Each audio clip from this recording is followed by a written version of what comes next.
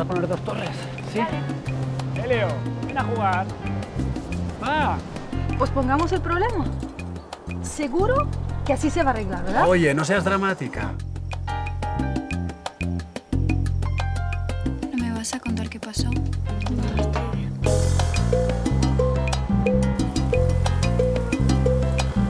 hay nadie especial